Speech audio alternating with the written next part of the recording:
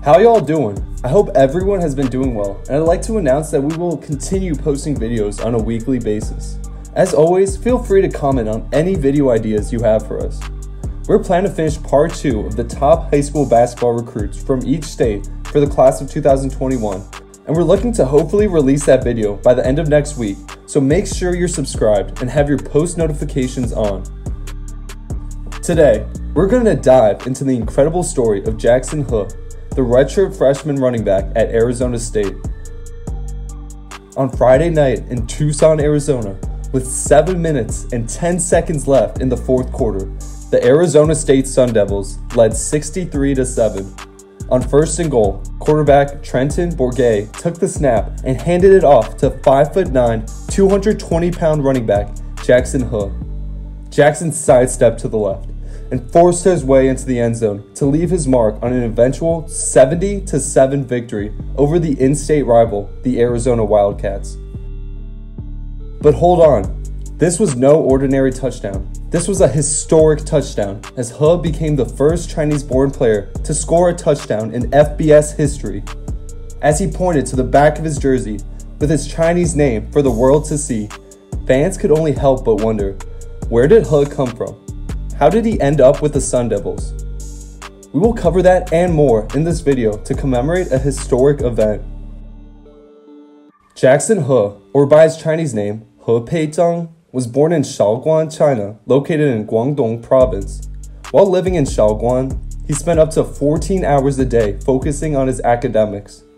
As is prevalent in Chinese culture, academics were at the forefront of his life. He stated himself they spent a lot of time memorizing instead of understanding the concepts.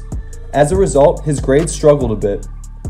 His parents decided to move He to the United States to provide him with a better opportunity to get into a top tier school. So in 2014, at the age of 17, He, along with a group of other Chinese students, headed to San Diego. Before moving to America, he decided to make his American name, Jackson, after the late Michael Jackson, a singer who he adored. He was pretty sad at first, as he left his family and friends back home. While attending Lutheran High School, he faced discrimination and humiliation in school as a result of his poor English skills. Unfortunately, inspired by Yao Ming, Jackson failed to make the school's basketball team. As he was 250 pounds at the time, Ron Allen, the school's football coach, spotted him and told him to join the team and play on the offensive line. Although he was frustrated at first, he started to learn to love the sport as he continued to practice his fundamentals. He developed a mindset of having no fear to help boost his confidence and allow him to continue to progress. Football also provided him with a new source of friends, as he had previously been lost and on his own as a result of his cultural differences and his poor English skills. Due to his superior strength and speed, his coach also began to teach him how to play running back. His hard work paid off as he was awarded the team's most improved player. He reclassified in order to allow himself the opportunity to possibly land a scholarship playing college football. His senior season started off slow as he dealt with fumble issues. However, by the middle of the season, he improved his ball control and became a key running back for the team.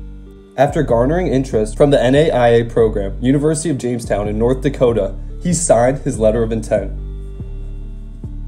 He redshirted his freshman year as he had to learn a whole new playbook while playing the role as a fullback. The following year, in 2017, he rushed for 376 yards with two total touchdowns, making an immediate impact as a running back. After discontent with the new coach and team, he returned to China to play club football for the American Football League of China and also helped develop other Chinese athletes who were interested in playing the sport. One of his club teammates, who had attended Arizona State, told He about the university, and He ended up applying. Before he arrived, he sent out his film to the coaching staff, to which he received no replies.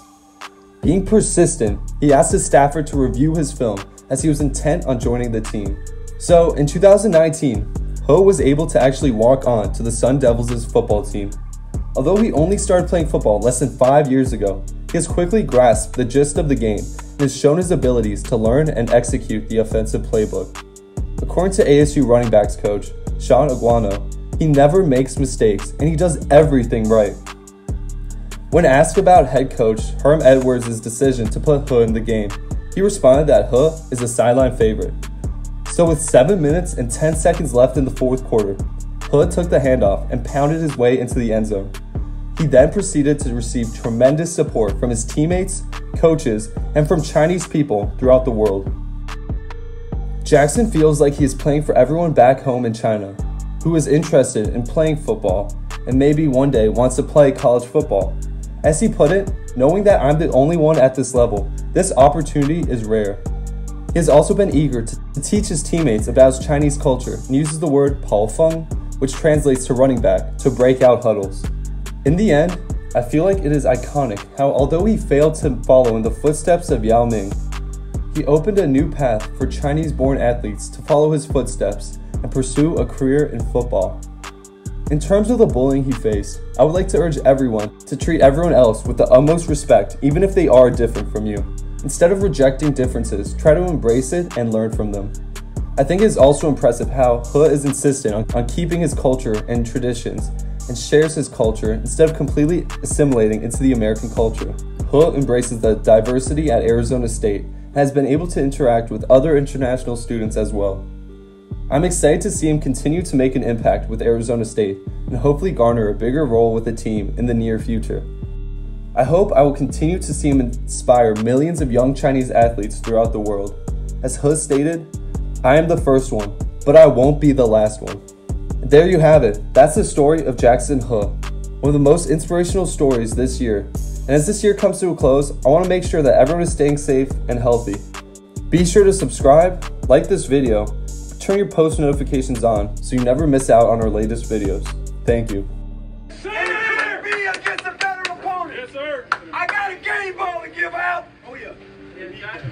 To Jackson!